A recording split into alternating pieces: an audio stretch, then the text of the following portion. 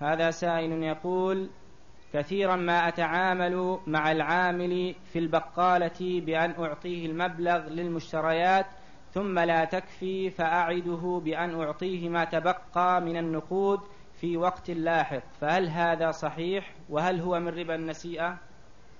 إيش؟